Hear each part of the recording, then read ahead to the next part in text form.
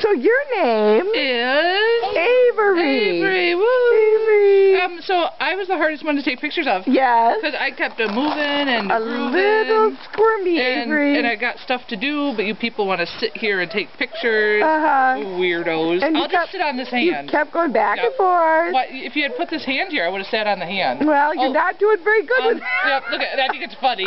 I think it's funny.